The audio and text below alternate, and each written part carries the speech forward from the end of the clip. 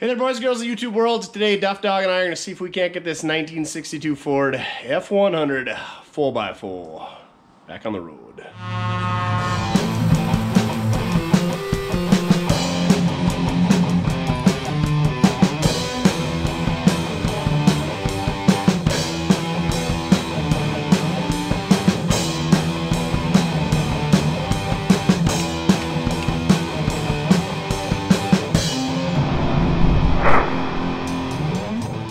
That's right. This was our second attempt at uh, Y-block explosions.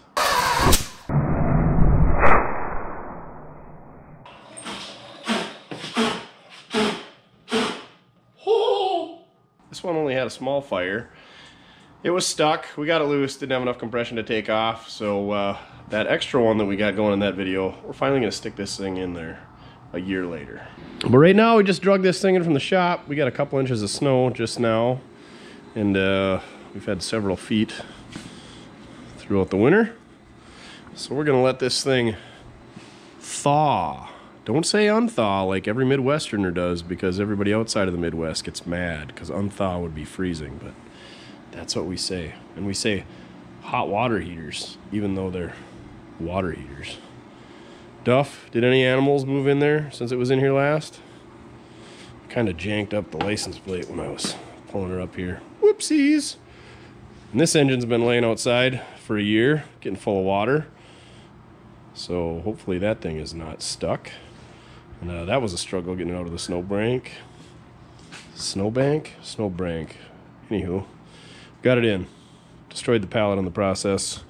And whatever else was in that snowbank in between us. I think there was some uh, 82 Chevy Suburban transmission cooler lines and cruise control stuff and whatnot. But we got her out.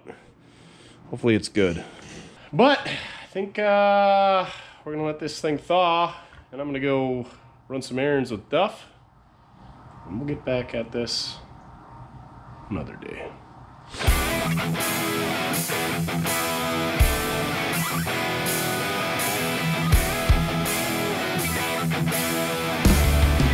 Well, we got this thing thawed and that too.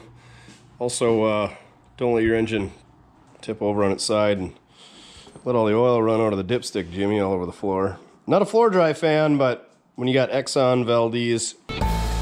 One of the worst oil spills in U.S. history. Depth of spills, you uh, sometimes got to use the floor dry, don't you, Duff? Plus, with all the snow, we got it real soggy, so we got ourselves a mess here. Also, I noticed that this thing uh, had these stupid oil lines. It went from valve cover to valve cover. Sounds like it was an add-on deal. I asked the uh, Y-block guy on the old Instagram, and he said some people added that. And we jacked that all up, pulling it out of the snowbank. So probably have to steal those studs, and maybe even the valve cover got a little damaged off of that engine. Oh well. Such is life. There is another Y-block in the snowbank, so we could use that one as well. But Let's get the hood off of that thing. I seem to remember the hood on that thing is in really rough shape. We got to take that bumper extension off, which is fine because I don't have a winch for it. That was for a winch, I presume. Oh yeah, there's where the PTO shaft went. So if we're not going to have that, I'd like the bumper where it needs to be, where it's supposed to be, where it was originally. So uh, Duff's going to check out what hardware we got to take off, and we're going to get that off and the hood up because cherry picker is barely long enough anyway. So, yeah, let's get after it.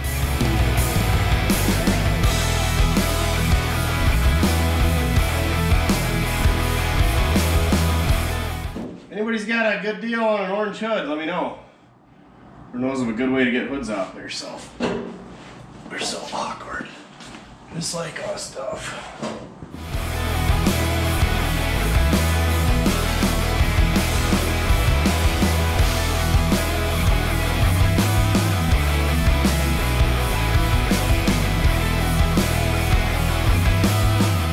Well, yeah, this thing just slides right off. Get all the bolts out when I have a chance. Oh, drop it on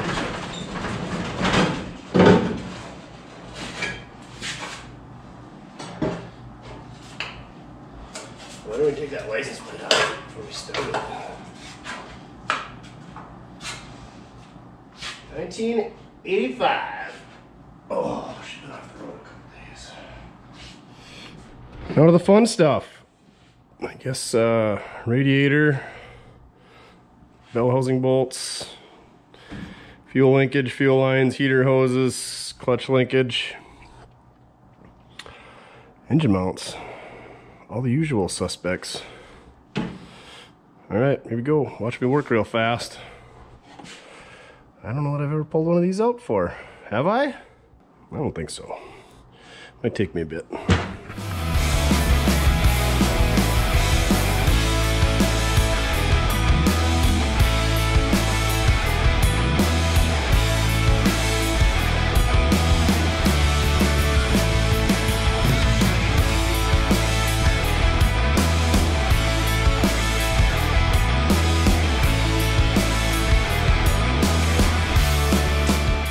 Not sure uh, what the camera caught, but got the carb off, all the front accessories off.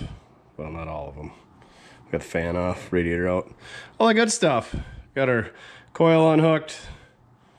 got our oil temp, oil pressure, water temp, all that stuff undone. So pretty much, we just got to do the wiring for the Jenny down here, do our engine mount, and then the exhaust and I don't know how we're going to split this. I think we're going to split it at the bell housing, or take the bell housing off the engine, because I'm guessing that thing's out of a truck, and it's going to have a different bell housing. It's got a hydraulic clutch on it.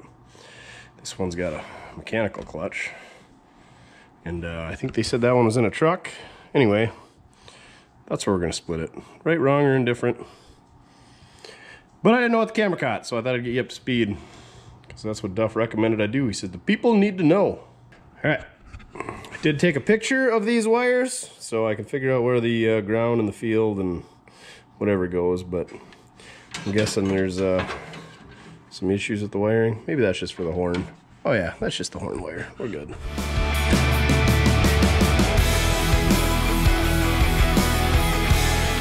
I think we're uh, wrapped up up here. I guess I didn't note that I got that engine plate on there. Those things are pretty dang handy. They're usually like 20 bucks. Don't even try to make one. They're probably up to 25 or 30 now with the uh, inflation. Get yourself one. Gotta go under the exhaust and that bell housing. Oh, we can get the engine mount up here. What's the beauty of this exhaust crossover is we only gotta unhook one exhaust pipe.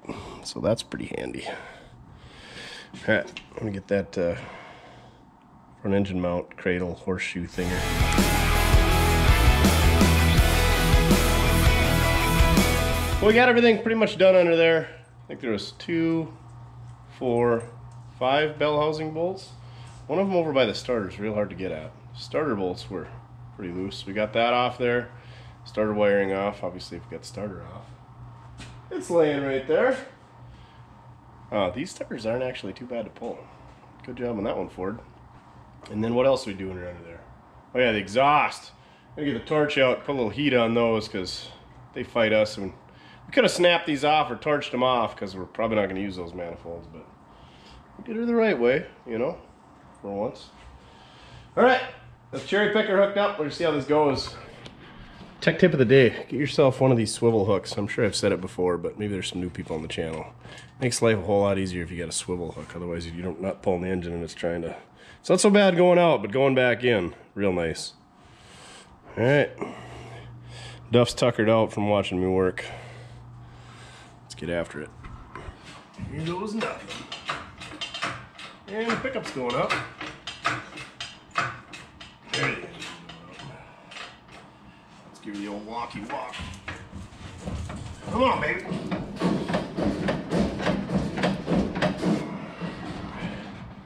Why are you not coming out? I could see a gap between the bell housing. So it must be starting to go.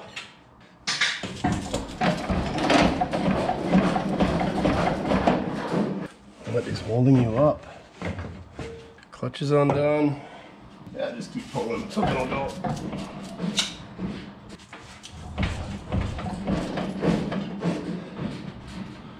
Cheese and rice. You go underneath? Check her out, Duff. Oh yeah. Let's get that last bolt out of there. That'll help. There's uh four on this side. So we're gonna take that last one out. All right, missed one on the bottom over there. Let's see what we got her now.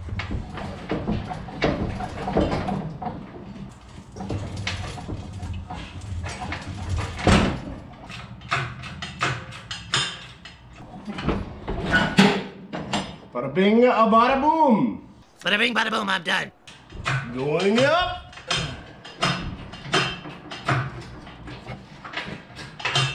What else did we forget?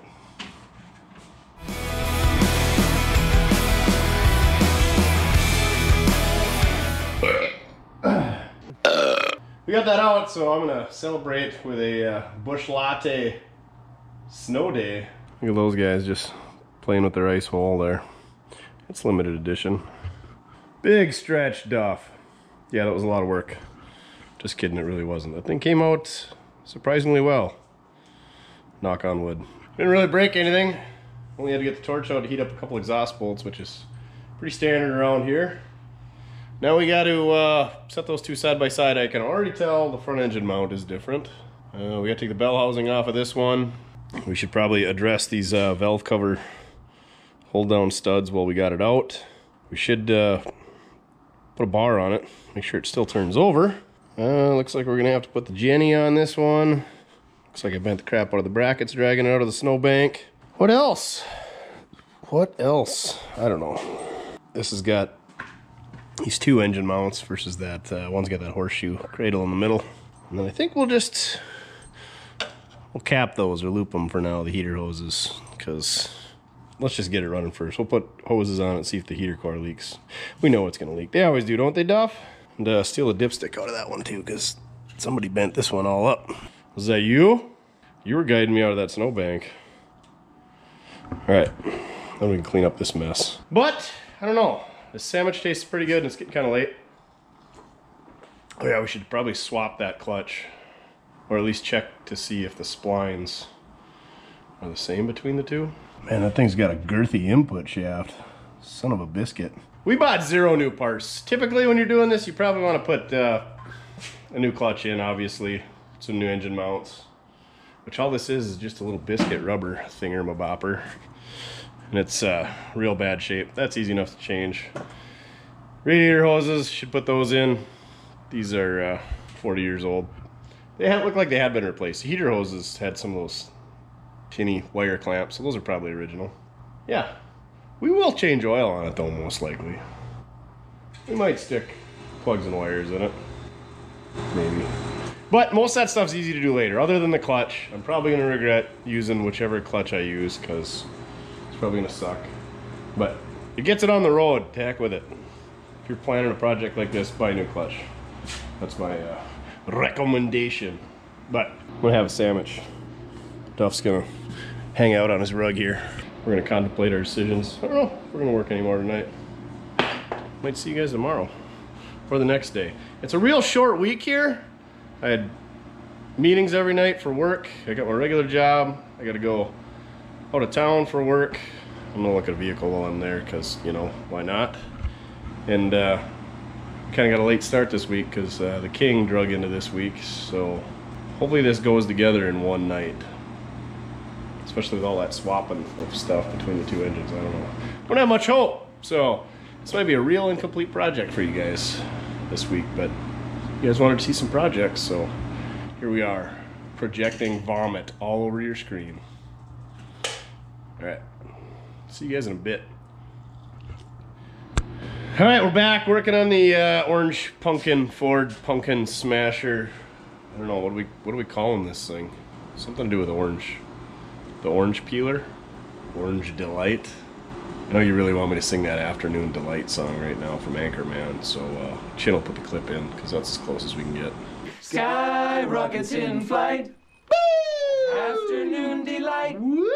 So, I think we're gonna pop the clutch off this thing and we're gonna pull that front engine mount, and then this thing can just go sit in the corner or outside or whatever.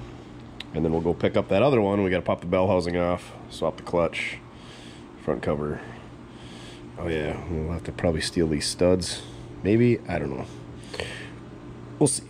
I'm gonna get this stuff blown off there. If you've never taken a clutch off before, oh, this one actually looks nice and clean and newish. And uh, that's your friction material in there. That looks pretty good. Ring gear, she's a little chewy right there because uh, these starters engage from that direction. They pull in because the starter's up there. So yeah, those teeth are a little chewy, but the rest look pretty good. Uh, it's just these six bolts, two there, two there, two there. Pops that clutch off. And then it looks like on the engine mount, since we're showing you dumb stuff that you guys don't care about, looks like just these uh, four bolts there. Oh, of course, those are 5 16ths and those are uh, 3 eighths. How silly is that, Duff? Silly Fords. Son of a biscuit, look at that. Remanufactured by specialists. That thing has like hardly any miles on it. I wonder if they uh, put a clutch in it because they thought the uh, thought it needed a clutch or it needed a rear end. Who knows? Why doesn't that come out of there? Probably because it's seized to itself. There we go. Whew. There's a nice cloud of rust dust. Oh yeah. She's real good. We'll hit her with a DA real quick. Clean her up. Code good.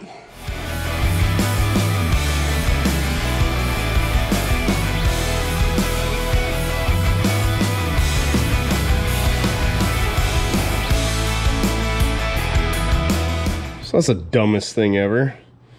Yeah, that's right. I hate all automotive manufacturers equally. So you Ford guys that need a hug right now, I'm sorry. You're just gonna have to go ask your uh, Uncle Rick for a hug. But they have to pull the harmonic balancer off to pull this engine mount off. Oh, come on. I know it's something you never got to replace. And then it had a 5 16 bolt, a 3 8 bolt, and a 7 16 bolt holding it on there. You know, don't make them all 3 8 or anything rant over. Oh, and if you're gonna pull harmonic balancers, get a harmonic balancer puller like that. They also work great for steering wheels. And uh, don't borrow your neighbors and never bring it back. And if you have one, don't borrow it out because your buddies screw up the threads or never bring them back. It's for you, Farmstead. Sure glad I had to beg for this thing back. All right, I think we're about done with. I mean, I know we forgot something, but yeah, we should probably just grab this stuff while we're here for the uh, Jenny set because I know we're going to need A, the generator, and B, a couple of the brackets, I think. But I'm going to just set her over in the corner next to Duff's sleeping shack over there and uh, rob whatever else we need off of it. Oh, God, that's a good heat tape job. Fiberglass. Works in glass packs. Should work for your crossover pipe.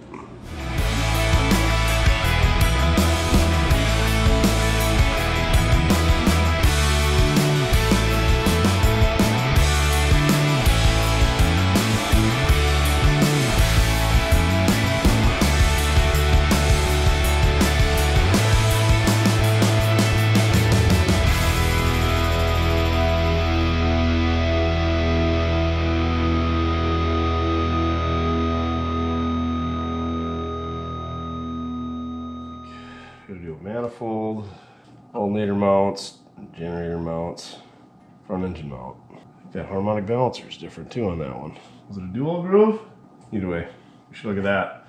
It looks like we got to uh, plug an oil passage over here. I'm guessing that's where that oil stuff drained to. And uh, that broke off, so we're gonna have to dig that out. Is this freeze plug rusted out? Probably. Yep. Glad I noticed that. Awesome. Well, so was that one. Gosh dang it. I'm wondering about that one in the back. Ah, oh, this just snowballs. So we gotta do freeze plugs. We gotta figure out why this road draft tube just kind of flops there. Tell you what, definitely need a sandwich tonight. All right, see you guys and gals tomorrow, tomorrow. I love you tomorrow, tomorrow away. Don't quit your day job.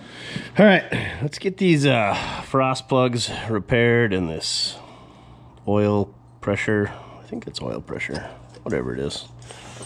We're gonna fix it, right, Duff? Plug it, either get it tied back into where it needs to be. Yeah, we're gonna do some things. I'm really thinking about pressure washing this. It's actually uh, pretty decent. It's only like uh, 12 degrees out today. Fahrenheit scissisms. Okay, frost plugs. Let's do that.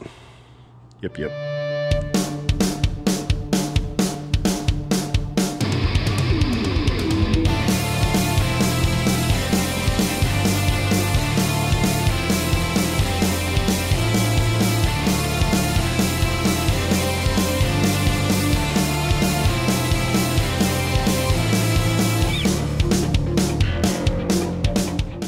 Man, it's uh, really clean up top here. So this must have been some type of kit where you got these hollow bolts in your kit. Looks like it came with that spacer too that has since come loose. So I think we're gonna open up, I don't know if we're gonna open that one up. I got some other Y blocks around. And we're gonna steal the two standard bolts. And then I think you just ditch this spacer. And the factory oiling should take care of this. I would have left this all hooked up had I not uh, messed it all up. I thought this was just like an eighth inch pipe plug or something, but turns out not so much. Well, shoot. It was kind of an ugly setup as well. So, yeah. We should be fine without it. Everything looks pretty clean in here. I think these things had upper oiling issues, and that was part of the reason for this, but we call it good. Also, there's a lot of crap inside of the block, so probably should pressure wash it and try to get that crap out of there so we don't have cooling issues and we don't rot out our new freeze plugs, provided we got some new ones on the shelf. I hope we do. Oakley dokley. Oakley dokley. On to the other side. And then, uh, yeah, we gotta go find some parts before it gets dark out. What do we got over here? Oh yeah, how did we not notice that that freeze plug was complete trash? It looks like we're gonna have to uh, block where this heater hose or block heater or whatever went too. Hopefully that snaps off too because we're really killing it on getting bolts out that have been snapped off. This was that oil plug in the side of the block on the other side. Remind me to plug that. Alrighty.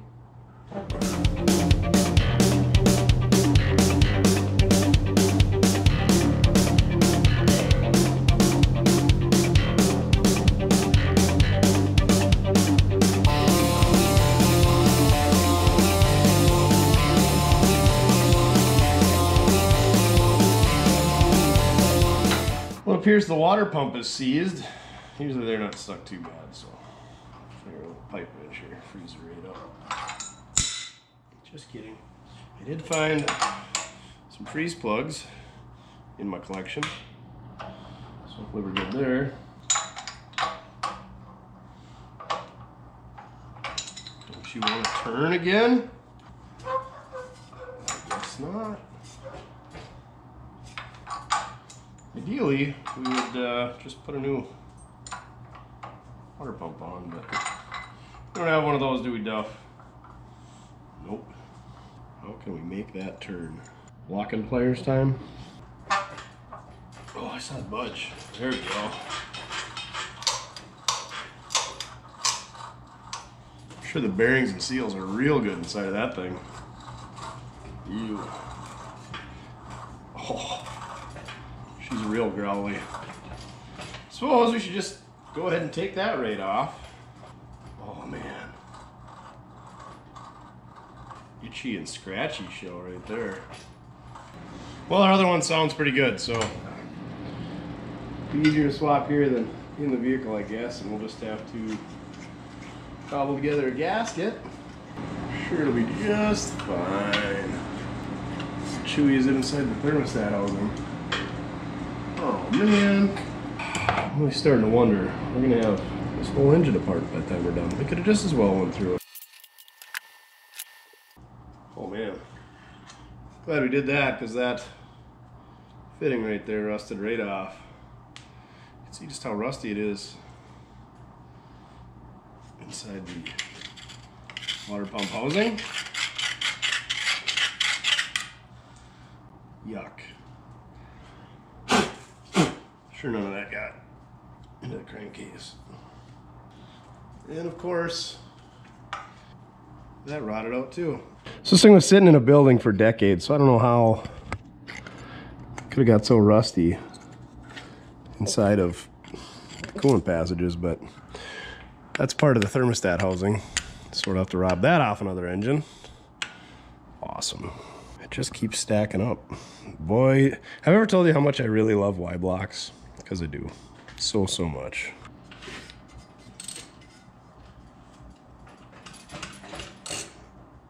Don't snap off.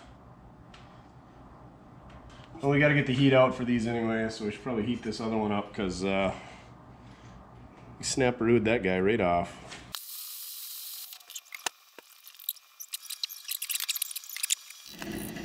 Here's what we're dealing with. Hopefully I can put a little heat into that manifold. Just clamp onto that. Even the uh, base of this heater fitting is rusty. I don't know what was in this engine, but it's not good.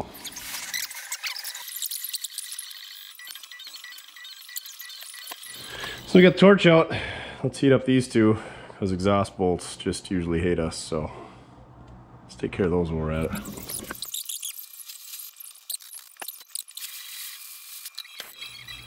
This one was actually a brass nut, so that's pretty awesome. That's what I like to put on exhaust bolts because they come off. I don't really know what's left here. Should stick a valve cover on it before we pressure wash it. So I'll go grab one of those bolts and I'm gonna wash it before it gets dark, hopefully. So I'm really starting to question my life decisions. I got another engine outside. I got that stud out of there. wonder if I got, I grabbed two of them out of it. Anyway, other one's around here somewhere. Right here, it's just a 5 16 stud, of course on one end, fine on the other. So that, you know, let's stick them both in while we got it here and we got the tools out. So I pulled this valve cover off. Of course, that one was kind of dinged up. But this bolt was loose for the rocker shaft and kind of screwed up. Not a big deal, right? And then I was like, huh, there's no push rods. And if I was gonna steal them out of an engine, I feel like I would have stole them out of that other engine that tried lighting the shop on fire. So when we had this thing running, because we did have this running on the floor, we were running on seven cylinders. So really I'm questioning all this right now. Why are these missing? And uh, is this thing worth putting in? Y blocks. Why? Why? Why? Well, I guess we'll go grab a couple of push rods out of that other engine. See if we can't get this bolt threaded back in. Keep questioning our life decisions. Why are those? Oh, they are there. They're what they they dropped way down inside. How does that happen? That's interesting. Great. Wonder how bent up they are.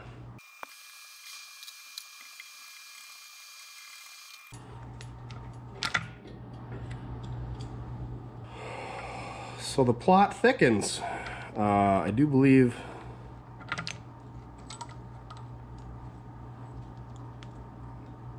that rocker shaft is supposed to be one piece all the way across.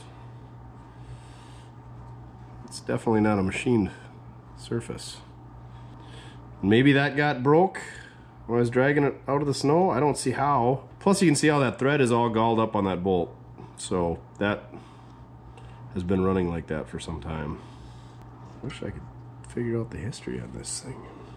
We gotta get those out of there somehow. So we dug this guy out of a parts engine we picked up this fall. Looks pretty clean actually. Uh, part number is the same, 575 1066 on the rocker arms. They did make a couple of different rocker arms. I think there's what, like the 57s are the one everybody wants, or like a 1.5 ratio or a 1 to 5 ratio or something like that. That's a little bit different, but these are the same part numbers, so they should just swap right over. I did get the push rods fished out of there. I don't know what happened. Maybe, yeah, me pulling on it or whatever, pulling on this thing broke something or I don't know what happened. Seemed like it was running better than on 7 when we had it going, but I'll have to go back and check the video. So stick this rocker shaft on it. And then Duff ran out to boom tubes. Got a uh, flywheel surfaced. Resurfaced because I just don't like the way this thing looked. And as crusty as it is inside that block, let's knock that rear frost, frost freaking, freaking, freaking. Let's knock that rear frost plug out and uh, hose around in there a bit while we're washing it. We're out of daylight, so we're gonna be pressure washing in the dark or waiting until tomorrow. But yeah, let's uh, get this thing knocked back together so we can at least pressure wash it. I did check, threads are good on this one, so it's mucho goodo.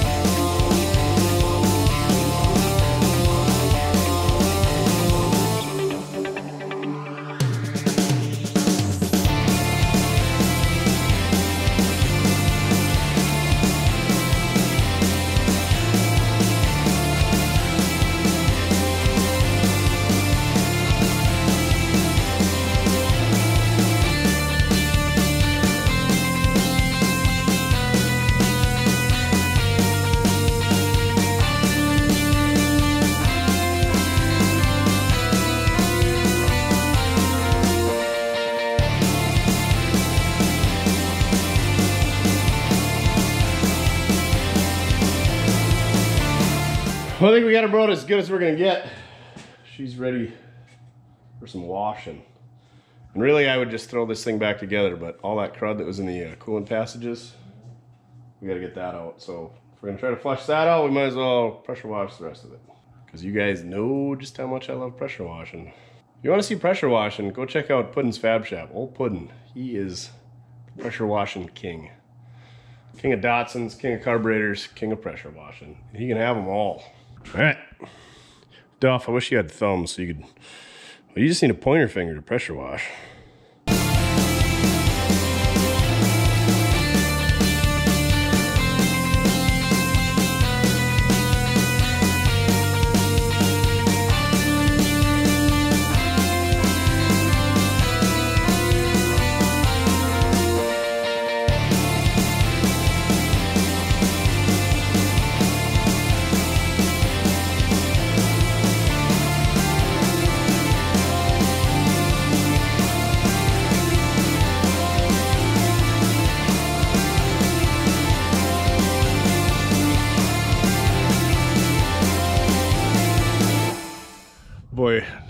I love pressure washing, especially when it's 10 degrees and it's dark out. But if you're building a shop, make sure you uh, A, put an outside light on, B, put water, and C, hot water. Really cuts through that grease. Way gooder. I gotta clean up this mess. Ruining all my clothes. I bet my beard isn't frozen either. So, while that thing is drying off, we're gonna pull the water pump, thermostat housing, exhaust manifold. That's it. Dipstick, we'll get that out of there. Duff can get that. Off of this thing so that uh, you put it on that thing. Yeah, maybe we'll use the torch to dry myself out, huh Duff? Yeah. Alright.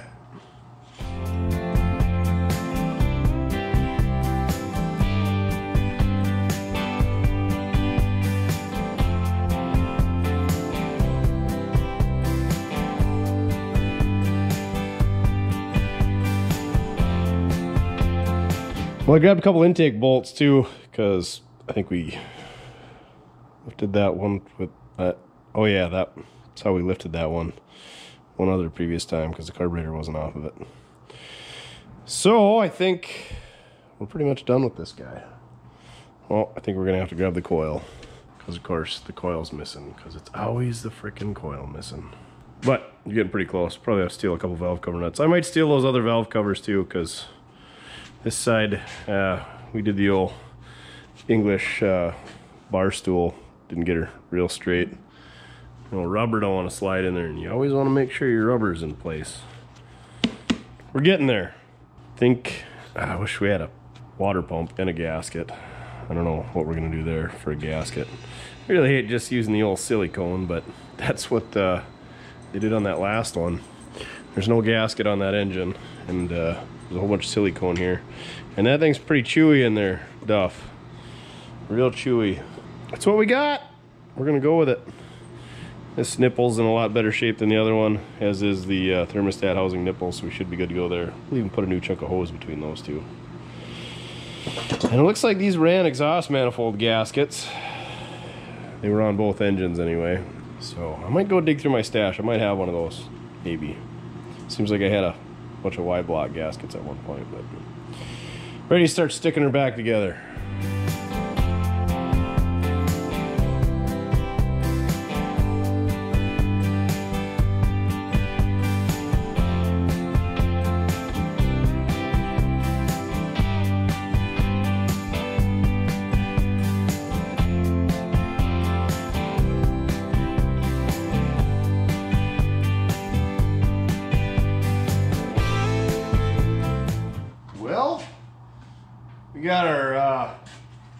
Freshly resurfaced flywheel from, oh, son of a biscuit. Let's flip that ring gear around. I'm sure you guys really want to see how I do that. So, let's do that. So, I guess we're just to tap around it until that ring gear comes off, hopefully. Use a brass drift. I don't know why. Because it's nice and girthy.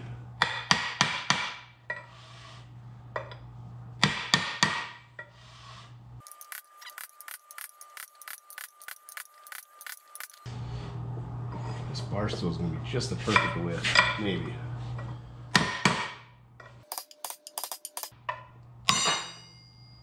Whew, look at that. Now, just need more hands. Slide this back on the other way. It's just that easy. Usually you got to heat them up when they're new, but uh, since we're just flipping around right here quick, we should have them all the right size and shape.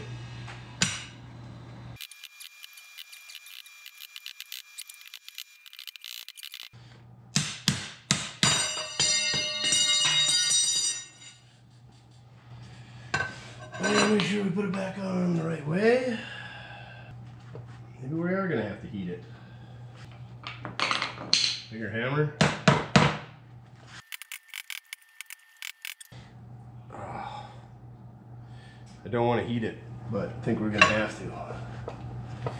All right, we got our uh, rosebud on the old Smith here, and uh, we're gonna give a little heat to that thing. Maybe. And then it's just gonna drop right on. Poof. Just that easy, right, Duff? You're right.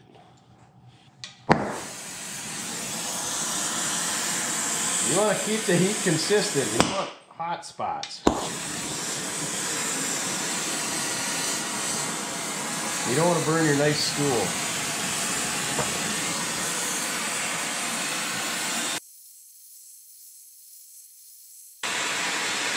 There, you see it almost dropping on?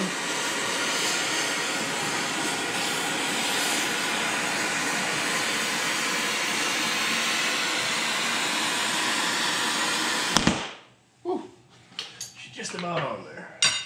There. Look at that. You can almost, can we spin it? Can we spin it? Do we have any spinning devices here? I'm not gonna burn my finger on. Well, if you do it right, it should spin right in place. Say it a million times, a little heat goes a long ways. We'll let that cool down a bit. We got more tools. All right, make sure our mounting surface is cleanish. I did check that pilot bearing and we got some blue Loctite on our hardware. It says it should be torqued to 75 to 85 foot-pounds according to the interwebs. And uh, so we're just appeasing West and all the other masses out there. So let's stick this thing on there torque them down. Yes, this thing only goes on one way. Sure enough. Why couldn't Ford just put a dowel pin in there like the rest of the world does? Why would four of the six go in? Make it so one goes and none of the rest. Nope. Three. Nope. This is the last way that can go on there. Of course, it's always the last possible combination.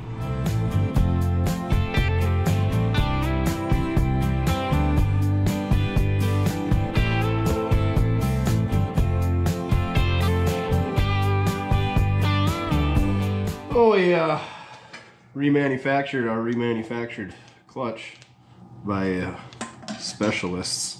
Mom always said we were special, right, Duff? So now we're going to use our handy dandy alignment tool. I got the right size adapter on the end here. This just centers it up. So basically how your clutch works is you got your pedal, which is hooked to linkage that pushes on your clutch fork, which pushes on your throwout bearing, which pushes on these three arms here. And there's two different styles of clutch. Did we mangle that arm? That one looks bent. We should straighten that. And uh, when that pushes on it, it takes tension off your clutch disc, which is hooked up to your transmission, and that uh, disconnects. It allows this to slip in there. Otherwise, the springs in here, right there, clamp against this, that's what makes your vehicle move, for uh, lack of better terminology. And this alignment tool gets her all centered up in there, so it should be ready to slide on install it. I'm sure somebody's got a way better explanation for clutches than we got. And this clutch is out of the pickup, and the flywheel's out of the, or off this engine, so I'm hoping they bolt up the same. Sure looks like we're doing okay. You don't want to over torque these little 5 16 bolts. I don't know if I, I'm sure I showed you in the video for the King, but these clutch bolts, they're real short bolts, but they don't have threads all the way. So that way you can get some bolt stretch in there for your clamp load. Because uh, this has got to hold the tension of all these valve springs in there. I know, there's like 15 or 20 of them in there. So you want it good and tight. And make sure that's centered before you snug them up. And because we don't want to do this again, I'm going to go find out what the torque specs are on. Looks like we're going with 20 foot-pounds on these little 5 16 guys. Try to straighten that arm out. Look at all that got bent. Oh, it snap. Ooh. I'll just leave it at that. Clutch is done. I did uh, scrape up some mystery oil filter for Ford to put on here. Gonna put plugs in here for draining the block out. Did you see all the crap that come out of this thing when I pressure washed it? There's a lot of rust in there. Hopefully we got most of it. So I'm gonna find some pipe plugs for them.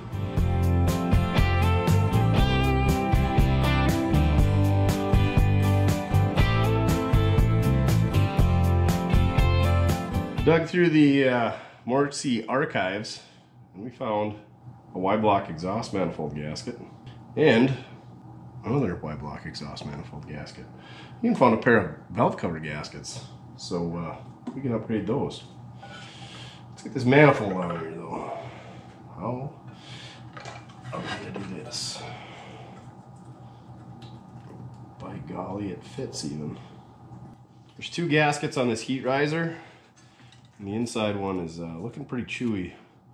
But I don't want to take that apart. Does not look like any fun.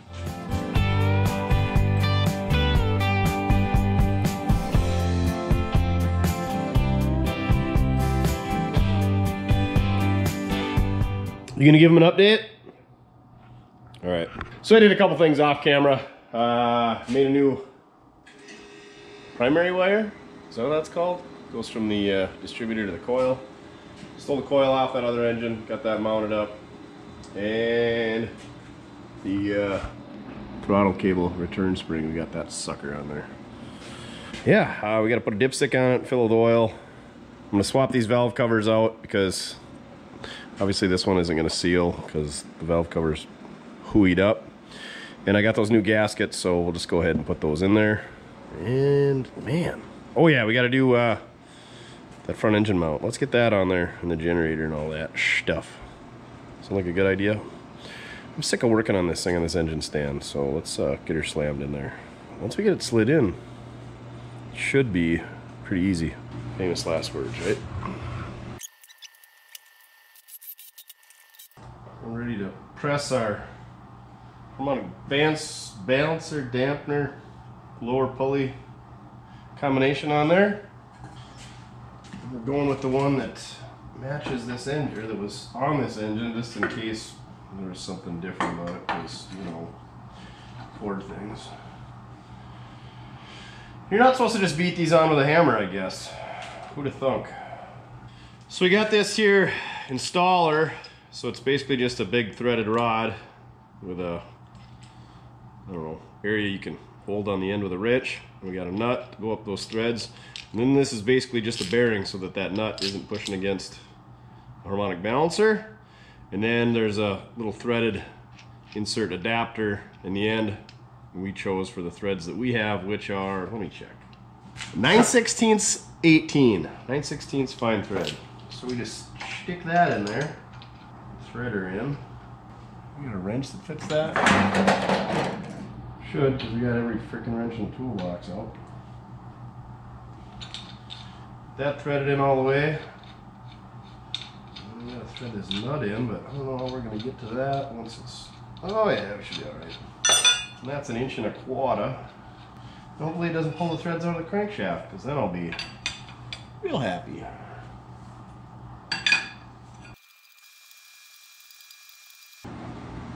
And then I usually like to grab this upper pulley, put that on there, and that'll give me an indicator on how far in I gotta go. Because can go too far.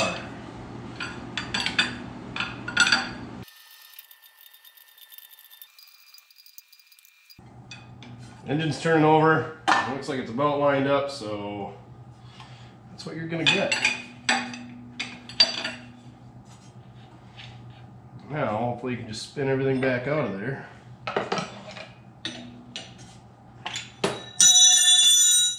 This is the theory. There you go. Now we just gotta put our crankshaft bolt in there. We'll go get the torque specs on that too. And that wraps that up. Alright. Put some pro oil in there to lube up them threads. 90 foot pounds is what the interwebs is telling me on this. Thanks, Hefe, for being the uh, flywheel turner sponsor. He sent me this uh, replacement Snap-on one. Snap-on did warranty the one that I had. They even had one on the truck. So we got two now. Oh, I wish Duff had thumbs. Just don't smack my teeth on this exhaust one.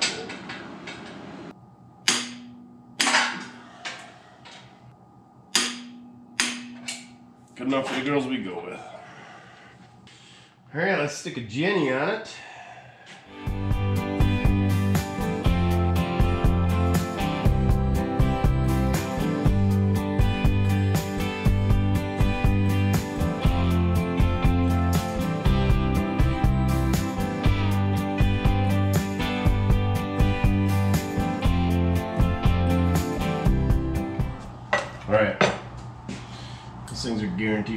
Right? Yeah, probably. Oh man. We're getting close. All right, just uh, check my list. I'm a fan of lists. And uh, this is all we really got other than oil. And I think we'll just wait to stick oil in it until it's in there. I would like to find a different drain plug because this one is all buggered up. I think it was sitting on a dirt floor and it just kind of rusted away. So, but the thing is, I can't really change the drain plug without, I can't steal out of that engine without picking that engine up, and my cherry picker is currently picking this up. So once we get it set in place, if I remember, I'll steal the drain plug out of that one. Do the old schwapperoo. The oil was pretty full of water, I didn't show that either. Uh, probably from pressure washing and a combination of sitting outside without being covered for the last nine months or whatever. It was clean water though, so there's that. Yeah, I think we're ready to slide this thing in. Hopefully that goes swimmingly. Right? I don't know why it wouldn't. Here goes nothing.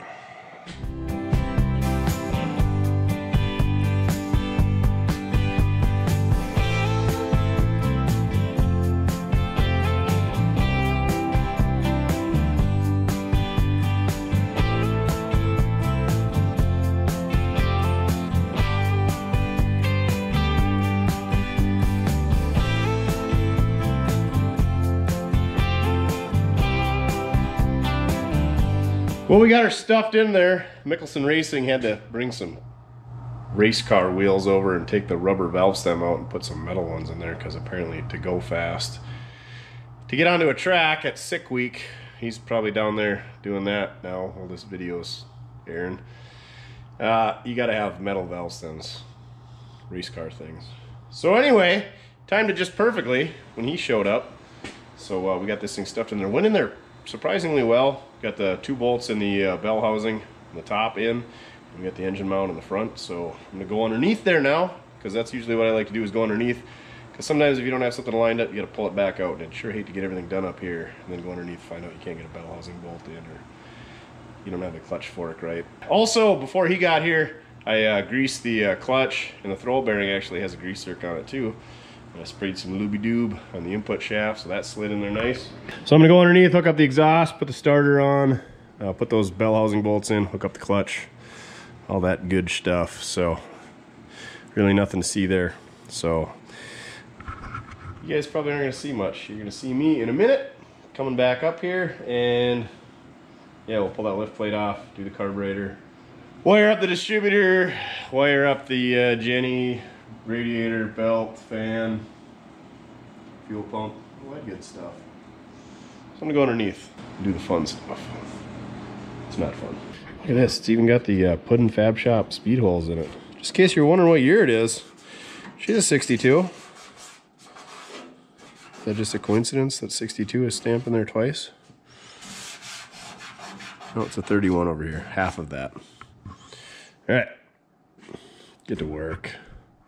Oh yeah, the gray Zeus, the gray ghost came over with Mickelson. Check out his channel, Mickelson Racing. Although Zeus should have his own channel. So Duffy's all tuckered out now. Starter's on, bell housing bolts are in, exhaust is hooked up, clutch is hooked up. So everything's done under there, other than I should check some fluids if we get it running. And the transmission and the transfer case.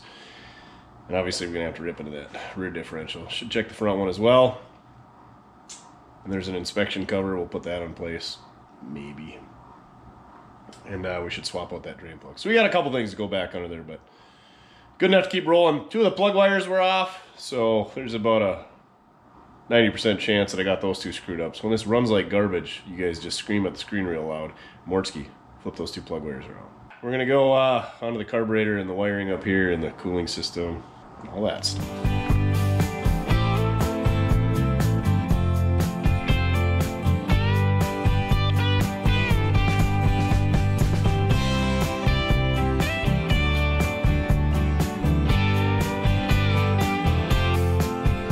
This GoPro is acting up, such as they do.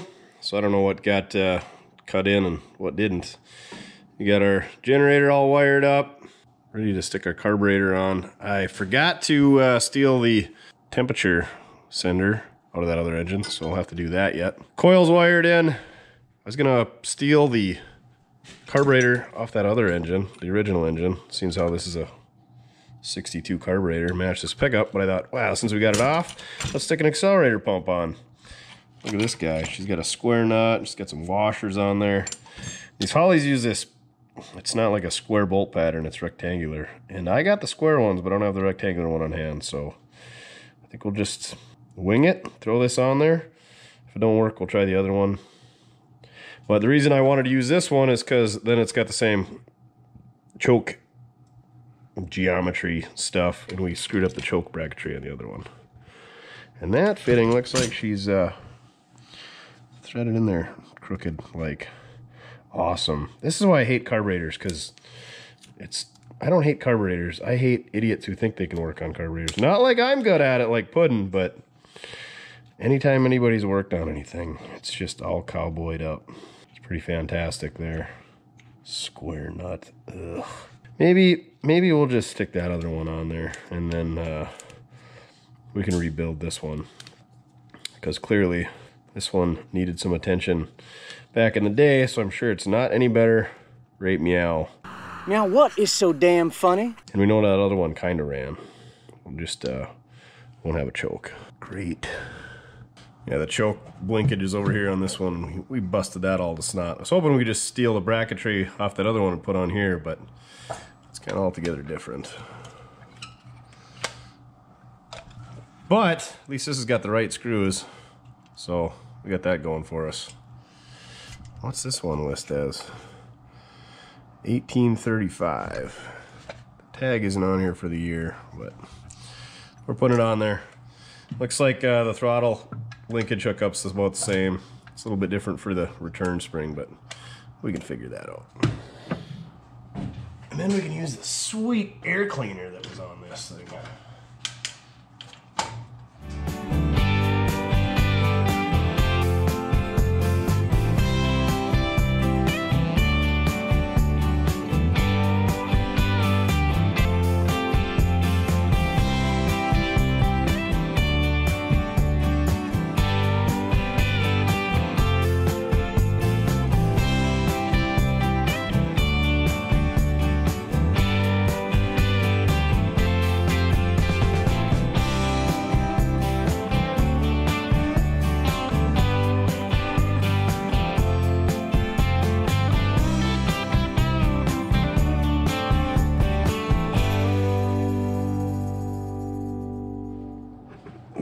Man, was that some nasty oil and she was a bit over full.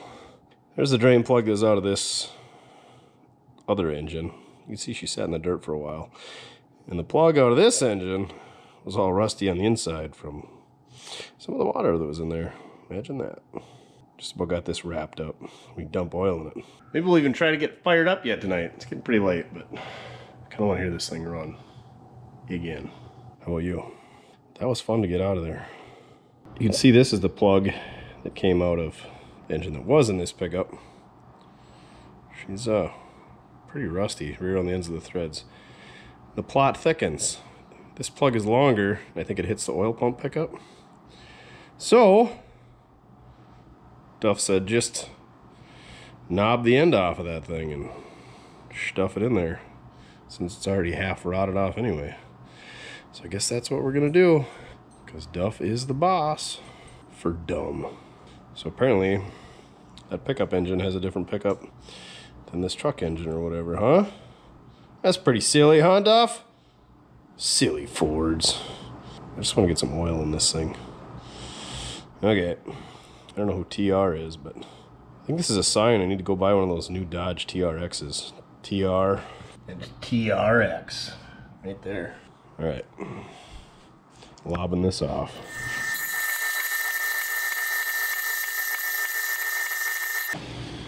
All right, that should clear, right, Duff? Let's whammy that in there. Could still even look good. Perfect. All right, let's stick some oil in this beast. We got some uh, Delo 400 XLE 10W30 because I got a pallet of this stuff. So get used to seeing it. It's heavy duty diesel engine oil. I don't know if it's got the zinc in it, so we're gonna put some uh, zinc additive as well. Really plug them catalytic converters up. Using classic cars, hot rods, racing, off-road, and more. Well, let's hope this thing is off-road ready by the time we're done. Why do I hear something running out? Just paranoia. Yes, I remember to put the plug in, Duff. Now I think we just got to put a battery in it. Give her some hot sauce. So she lights off. No, we can't go for a ride yet. Got uh, Florida Man stuffed in here. These battery cables are way undersized. And they're in pretty sad shape. Let's see if we can get her to crank over. Got the loser switch hooked up here. Well, it's the new one. I haven't even tried this one yet. Well, that's not good. I always pick the wrong terminal on here. I think we got it now. The light even lights up on this one. Woohoo! Getting there, Duff. Now we just gotta see if the key switch gives us power to the coil and get some hot sauce. Then we'll get it to fire. And I think we're calling it a night because it's bedtime and I haven't ate supper yet. So let's get this show on the road. I hate firing these things up before you're gonna leave the shop for the night, but I'll unhook the battery. This one should be good. We're not gonna get it very warm. Don't have any coolant in it yet either. Yeah, no rides. Sorry, man. All right, I'm gonna go check for power over there. Key switch is super sticky. We got power there though. So, try some hot sauce. All right, see if this thing will fire up for the first time in was it, 1983. So what's that? 39 years. We did have this engine running about a year ago, so it should take right off, right? Provided I didn't get those two plug wires flipped around. Or screw anything else up. Here we go. Slingshot engage. Slingshot engaged.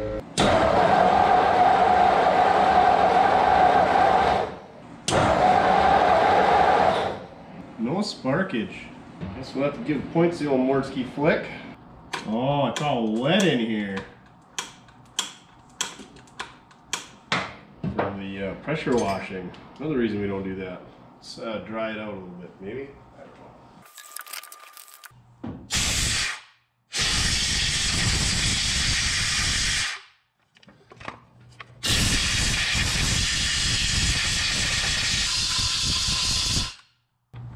Uh, give him a couple flicks.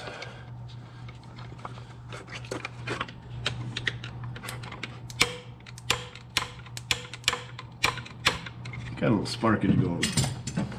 Should be alright. Maybe. Probably not. Oh, we just busted the tang off the rotor. Dang it. Well, this rotor looks way different, but looks like it's the same concept. Hopefully it works. Hopefully that clip didn't end up, or that tang didn't end up inside the distributor. Give us a headache, that'd be great. Kind of like losing the screw to your points, killing your distributor. Like on the old 60 Impala there. Always something. Now let's see if we got some sparkage.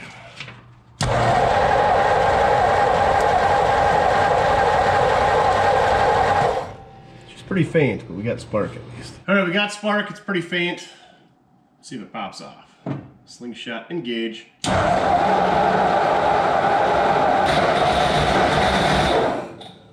Ooh, she wants to go.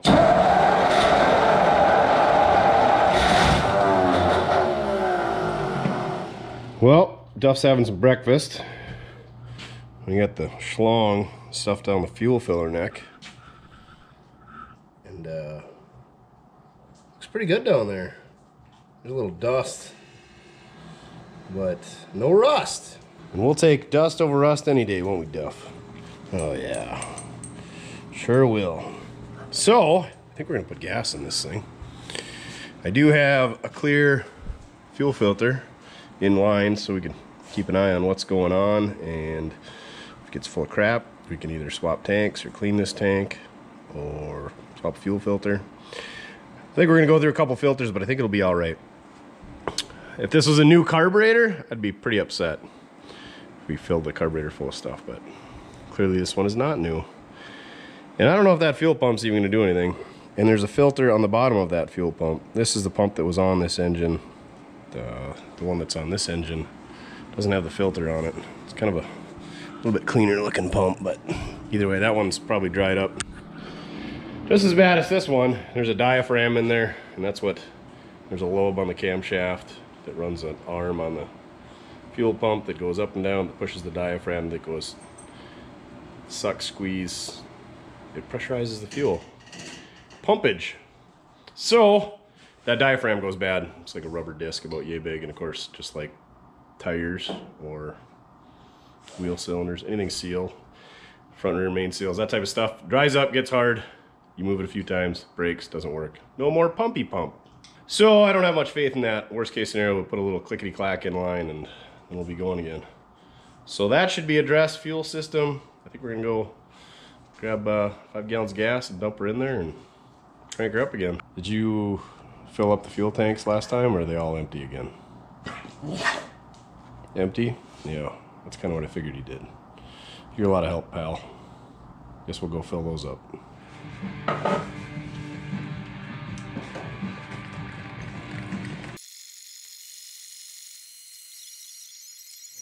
Well, we got some gas in there. Let's see if we can't nurse it off the bottle and get it to pull some fuel up here. What are the odds of that? Yeah, not very good, is it?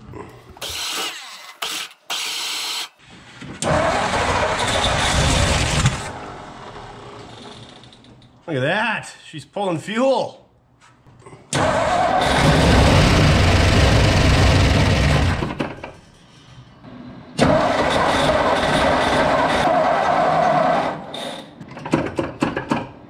And we got no accelerator pump action. Imagine that.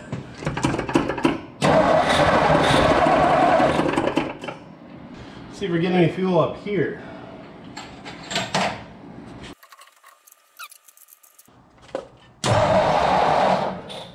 Yep, we got pressure up here. But we're not getting any squirtage inside the carburetor that I can see.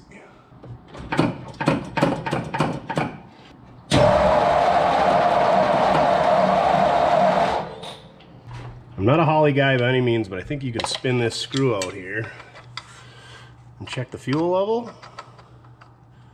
That'll tell us if our float's allowing fuel into the carburetor. Of course, nothing's coming out. So maybe our float's stuck? Oh no. I can see the float bobbing up and down in there in fuel.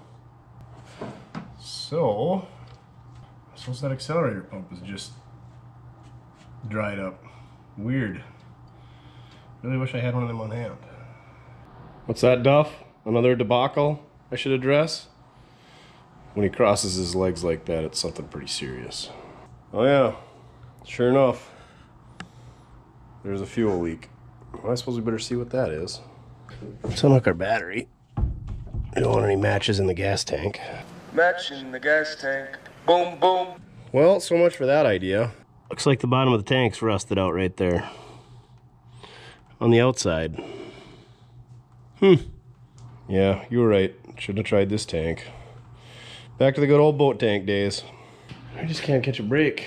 Now we gotta find a clean pan to catch $60 worth of gas.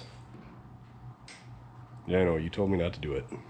Well, that's the cleanest pan we got around here, so let's dump that coolant in there. Hopefully that doesn't leak. And we'll use that pan to catch the gas and recycle it. Well, that should only take several days to drain six gallons of gas through a 3 ace hose via gravity. At least we're filtering it though, so it should be good again. Good still? Yeah, that's what I meant. I don't know what it is about uh, fuel draining, but it makes me have to take a leak. Let's go see if we can find a better carburetor, I guess. You got any ideas? You think that one's any better? Yeah, me either. All right. Here goes nothing. Well, we could just couldn't leave well enough alone. We're still draining down there. Duff's keeping his distance. We got the boat tank and the clickety clack hooked up, so we can't get some fire.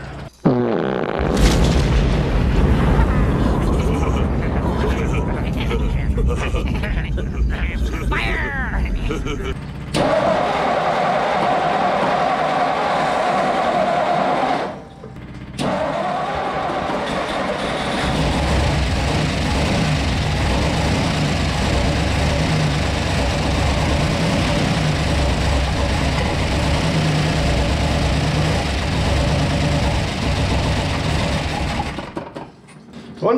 the video, and the accelerator pump was working on this thing. And we had it running, kind of. But that does not mean it hasn't dried out since then. Which it appears to have.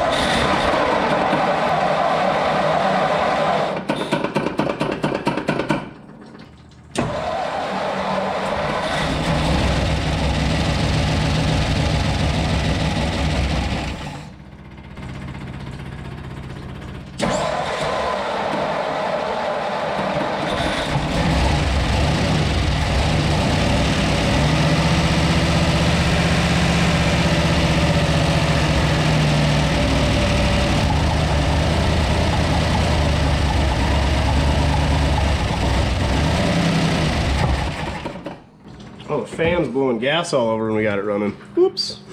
I got smart and I put the gas can right underneath the fuel hose. That way I don't have to transfer it from the pan to the can. Work smarter, not harder, kids. I don't know if that carburetor is going to work for us or not. Seems like it runs better now that we have this pump hooked up, but let's uh, mess with something else. That diff, ugh, that should be fun to tear into. It's nice and low to the ground. Do you want to do it? Yeah, me either. Maybe we'll take and put this tank inside, since how we know we gotta have it anyway. We got all the fuel drained. As much as we're gonna get. That six gallon jug is just about full, so we must have got most of it. I'm sure there's some left in that tank. And we spilled hardly any Greta. How dare you! Just a non-mentionable amount. It didn't make it to the road drain for sure that we're parked over. So let's see if we can get this thing running a little bit better. I don't know. I don't want to swap carburetors because I don't really have much for carburetor options. Let's see what we can get.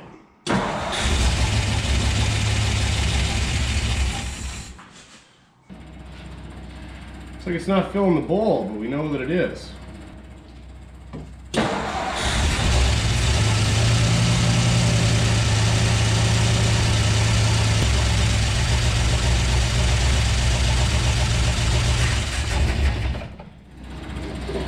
As soon as you try to bring it off idle.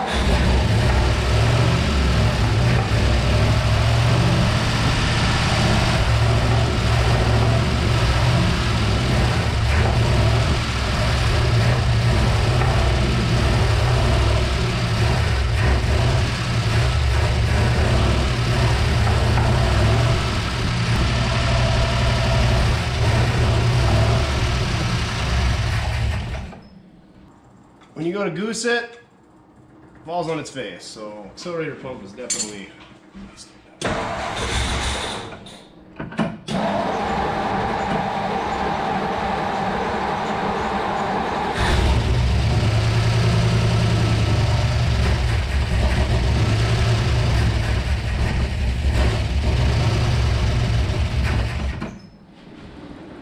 Yeah, you gotta give her a shot to take off, so we don't need that accelerator pump.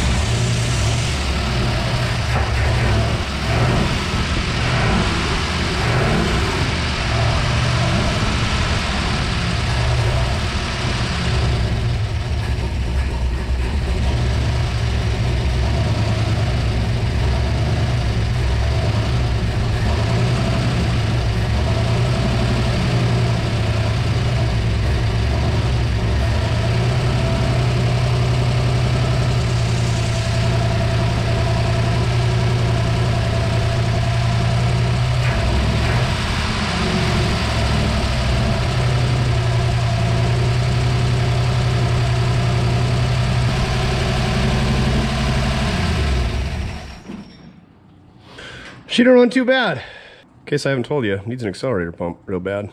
Let's get some coolant in it. And then uh, go from there. Let some smoke out of here too. Let's pull this heater hose out. Maybe she'll suck it in a little faster. Oh yeah. Big gulps. Oh, big gulps, huh? All right. Well, see you later. So I'm gonna put a gallon of straight in, then I'll put a gallon of water. And then I'll mix a half gallon of water and a half gallon of coolant. So 50-50 mix at the end of the day. No, I'm not using distilled water. We can't afford that. I don't even know where you buy that. You buy that at the store? Probably.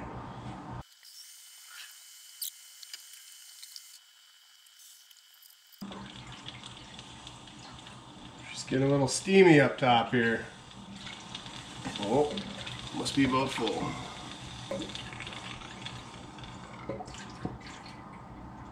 Just thinking about it anyway.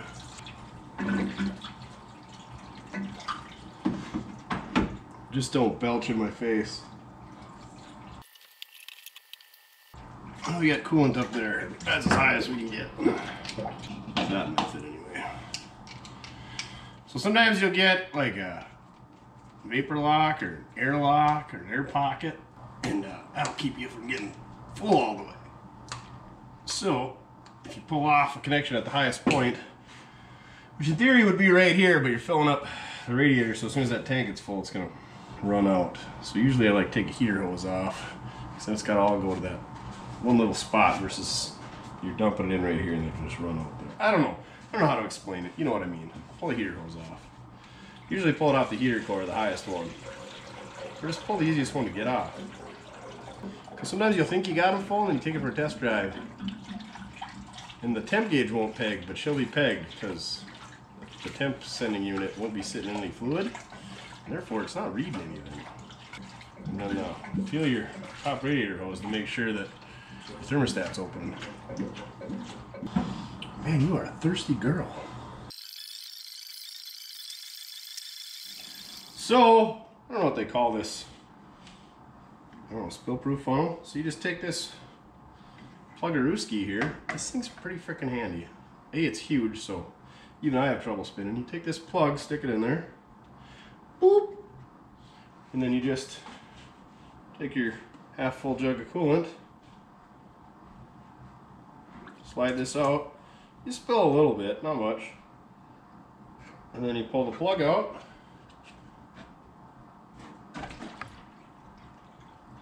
You just drain right back into the jug, hardly spill anything. How neat is that? How neat is that? You just take the cap and the adapter off. Throw that right back in there, put the cap on. Spill proof funnel kit by Epalo. I don't know.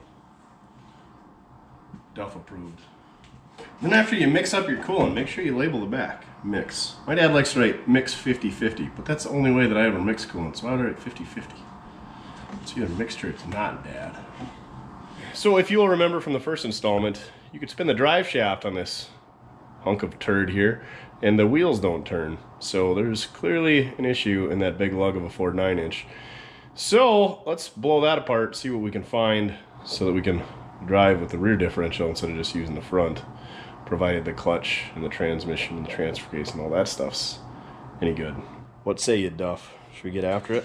Uh, these are a dropout center section, I guess what I call it, or a third member or a chunk. So you got to jack it up, pull the wheels off. There's four bolts on the back of each backing plate. You take those out, or they're a bolt-in axle, and uh, slide the axle out a few inches on each side. And then you take the drive shaft off, take the bolts out of that center chunk. You can roll the whole thing out of there and make a small nest doing so. So that's what we're gonna do. You wanna grab the jack? It is rough being you. So the brakes look pretty good. There's a lot of meat left there. All grooved up for the drums. Ooh, real grooved up. So hopefully drums are cheap. But the springs and everything look pretty clean. Axle seal does not look like it was leaking yet.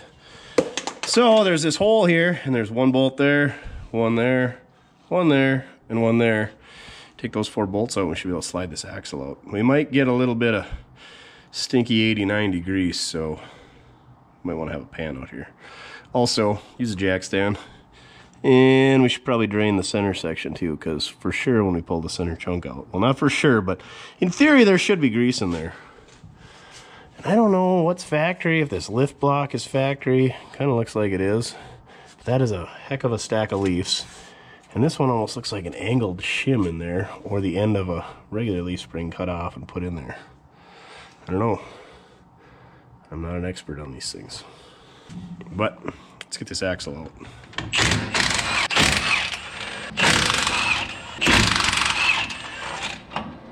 Now, depending on how stuck this axle is, oh yeah, slides right out.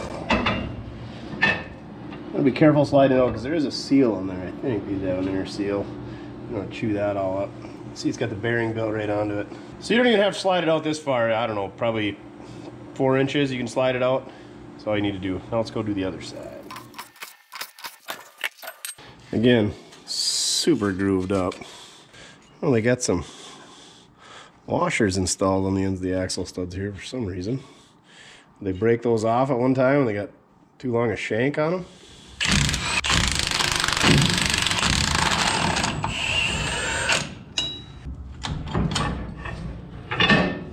You can see that the spring that goes inside of the seal on the inside is kind of flopping around here, so that's probably not good. It could probably use an axle seal. But it wasn't leaking. Well, not that bad anyway. It was. Some extra parts in here. Oh my gosh, that shock is just Ray Charles welded on. Held there with hopes and dreams. Oh, I remember how beat to crap this thing was. Look at how the shock is just thrashed. Differential's all beat up.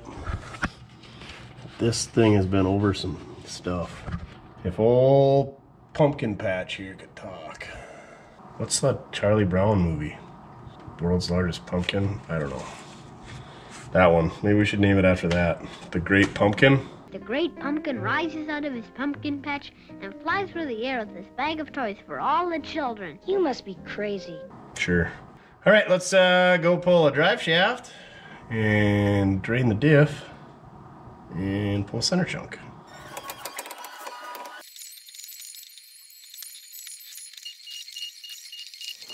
So I counted all the teeth on the ring gear. Uh, they call this a 9 inch because that's a 9 inch ring gear. 8.8 would be 8.8 inches, 8 inch, 8 inch, 7.5, 7.5 inch. Anyway, count of the teeth on the ring gear, it's 35. Count of the teeth on the pinion, and it's 9. 35 divided by 9 is a 389. 3.888888. So it's 389, right, Duff?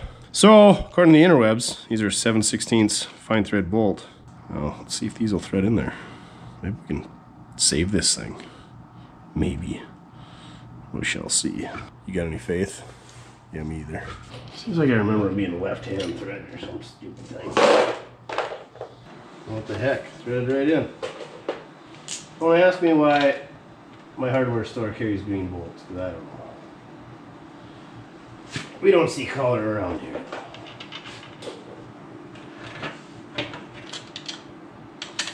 I know I should be putting Loctite on these, but let's be honest. I'm guessing this thing's going to be a little bit growly after what she's gone through. I mean, I would be. Oh, that one might not go. We might not be able to get them all.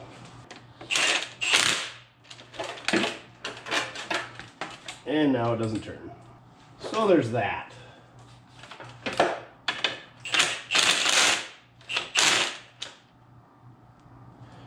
What's your problem? Well, using an 11 16 socket on a 5 ace bolt is probably not a good idea.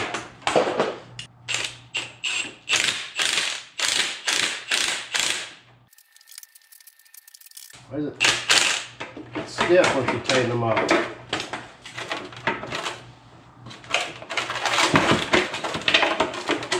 Just lock them up on the pan. I don't know, really struggling here, kids. This is way above my pay grade. Good as new. For dumb. Don't get me wrong, I'm sure this rear end probably has got some issues. It's a lot better than it was. I'm gonna go underneath and we're gonna see if we can't fish all the shrapnel out of there and uh, clean up the gasket mating surface and put some right stuff on this thing and whammy her back together. Whammy! These U-bolts did not want to come out. I'm sure that's good for the threads. Let's see what's behind door number nine inch. One bolt, three, four, five,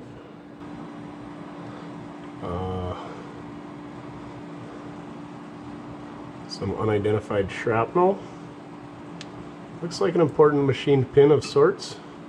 Six, seven, eight, nine, ten. How many is there? Oh, that is so metallic -y. We gotta get that old stuff out of there. Not gonna be good for business leaving it in there. What would Ernest say? Ew.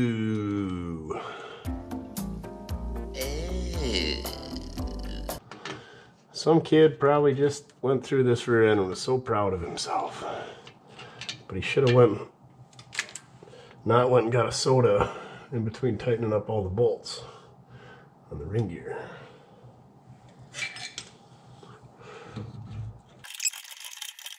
Judging by the amount of grease, he got a few miles out of it for it. Decided to exit stage left. Clean gasket surface is a happy gasket surface. All right, now let's go clean up the center section. We'll drop that back in. Love the smell of 89 in the morning.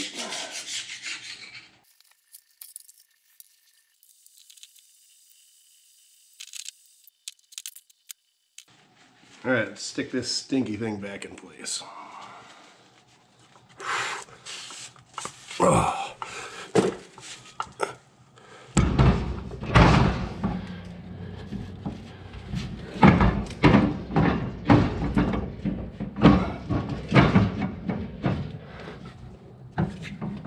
Go to your home. Do you know where your home is? Go home! That's your home! Are you too good for your home? Answer me! I think these rear ends are getting heavier as I get older.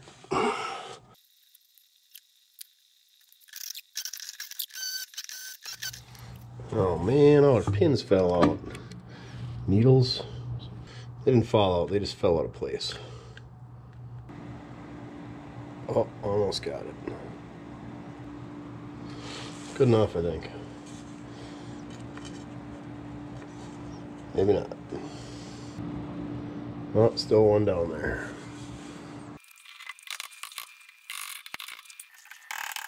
Oh, son of a biscuit.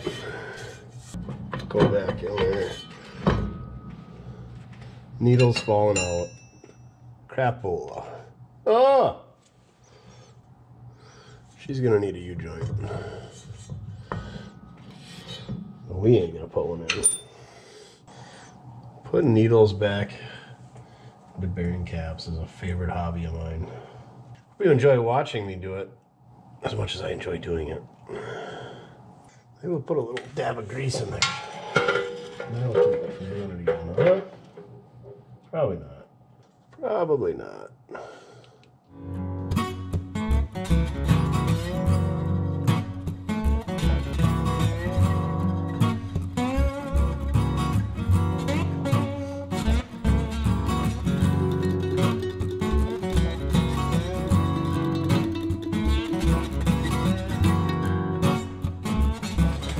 Now we should just have to slide our axles in and bolt everything back up. Should be good to go. So you kind of got to hold the axle up to get her lined up into the center section. There you go. Make sure all your bolts are lined up for your bearing retainer plate. You don't want to go over that bolt for some reason. See if we can't persuade it. Maybe we got it off 180 degrees. I doubt it. Anything's possible. I just don't want to go over that stud. The old valve persuader on it. Yeah, we got it walked into place. A retainer plate, bearing retainer, watch him a dink. You know what I mean. Now we gotta start these fine thread half inch nuts so we didn't screw up the threads.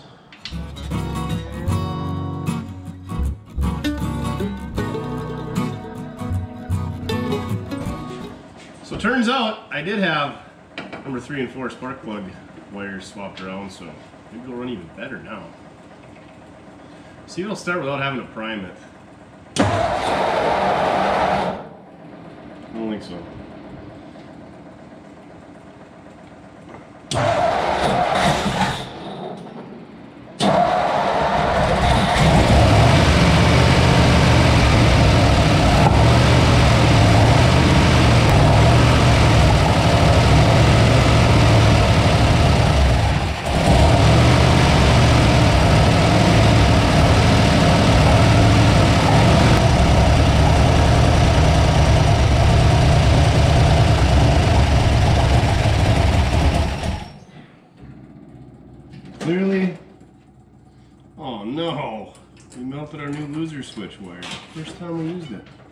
We got the uh, dirty needle out. Did the old reverse bleed with some success. That side seemed good. This side, I couldn't get fluid to go up there. So I don't know if the brake hose is collapsed or pinched or what. Duff is loving it. You want to hit that pedal? See if it's feels breaky? Yeah, you're a lot of help. All right. I'll do it. Oh my gosh. It might be a two pumper, but heck yeah. Heck yeah, buddy. We got brakes, duffers. All right. I think that's uh, about it. I'm gonna clean up a little bit and uh, we're gonna do this. Yeah, we're gonna have a hood. It's just gonna be in the back of the pickup. It's a safer spot for it, probably.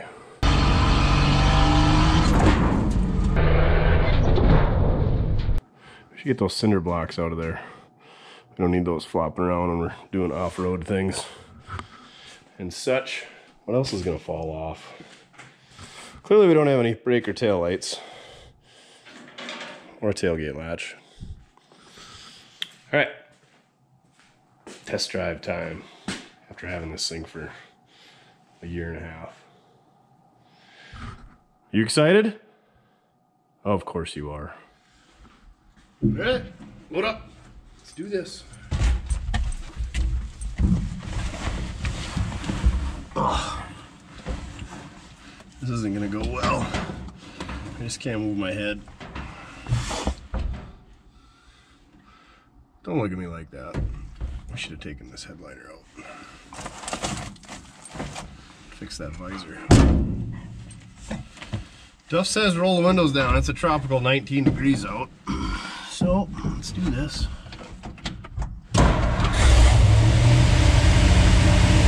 That's a lot of idle. Still got brakes. Glass back light. Steers pretty good with 31s. We got one mirror. Do we not have reverse? Well, you gotta put it in reverse.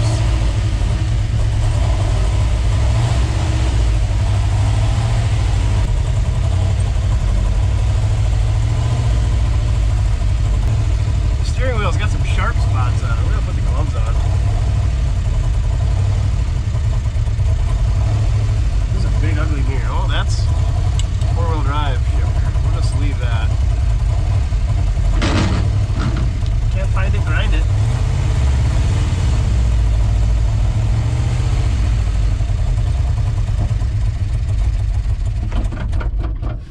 Well, we made it about five feet. Just want to see if four-wheel drive's working.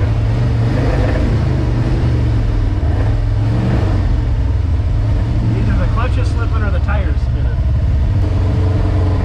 Wow.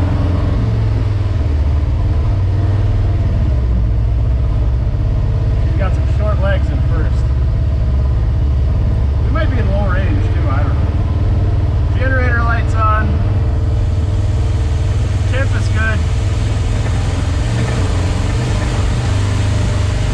Temp is not work.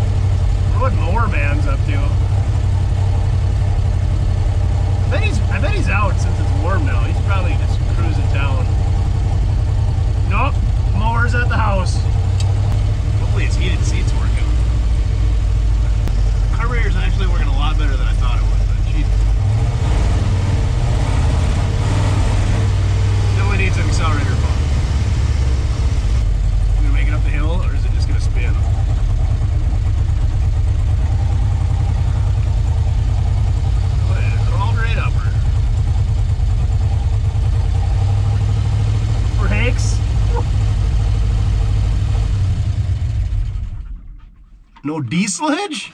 Hot day, high five, Duff. Oh yeah, or just a face to the hand. All right. That was a lot of birds out there, huh, pal? There's where the Y-block sat all summer. Used to be a snow pile there.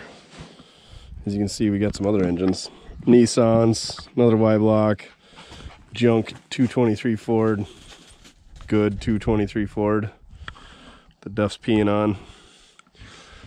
There's another Y block over there that we don't know any history on.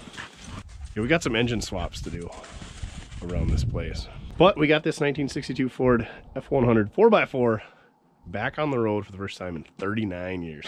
Had to do an engine swap to do it, but what can I say? It deserved it. This pickup's pretty cool. Still needs a lot of work. I mean, the drivetrain is pretty roughed up. Uh, I didn't stick anything into the engine, so I'm sure it's going to need front rear main seals, tune up, carb needs going through. I put hoses and belts, all that good stuff on it. But we did it on a budget. Like, like I said on the ride in, like we put some hardware into this thing, some valve cover gaskets I had laying around, and an exhaust gasket I had laying around. That was about it. Otherwise, it's just stuff we had laying around other than that Y block that I picked up. Kind of for this pickup, kind of not. But yeah, fortunately, uh, I think that's where this project is going to end. You know, hopefully one of you guys buys it, needs this thing, can uh, put it to good use, make it a project of your own. I think this thing would be really cool. I think the paint would buff out just awesome on this thing, just like we did on the 60. It's got a lot of dents in it, but it's just character. It's freaking super good for rust. But it's not for us. It's not in the cards right now. It just needs too much. And we got too much stuff over there. We got the Kings back on the road. We gotta we gotta work on the other orange four-wheel drive, pull the tranny. Gotta pull the engine on the unibody and put a freeze plug in the back end of that thing so it's leaking. We got the two-wheel drive Blazer to mess with. We got Casper that pretty much just runs and drives. She's good. We gotta do brakes in the 66 four-wheel drive. Rex, he's good. Got some 61s. We got some 61 content coming up. Maybe some 55 Chevy content. Can find a front clip for it. Yeah, we just got too many projects. Um, nobody buys it. Yeah, we'll bring it back again, maybe in another year. But I'll put a price on this thing down below. I do have a clear title in my name for it. You guys know just as much about it as I do. We've pretty much been all over this thing. It's a pretty cool old pickup. So, I'll leave it at that. If you want this thing, more information down below, how to get a hold of us, mortskerepair at gmail.com. Uh, if, if, you want, uh, check out the uh, Duff Approved membership. We do a lot of behind the scenes footage that we throw up there on a weekly basis, and we give you guys some discounts on some merch. And if you want some merch and you're not a member, go ahead and get some merch. That'd be cool. But I think that's about it. On to the next one. We just about lost the shop on this one. It's That was a lot of work for uh, one week. What are we gonna drag in next? Should probably do that unibody since we got it halfway on the street. But I kind of want to work on my other orange Ford, seeing how we're on the orange Fords. Either way, it's it's probably gonna be a Ford, or maybe another '61 Chevy. I don't know. Remember, doesn't matter you get it done, as long as you're having fun. You could have a lot of fun on this pickup. All right, Duff's out looking for roosters in the slough. I'm gonna uh, put a hood on this thing. Oh yeah, you're gonna need to do some body work on a hood body work there.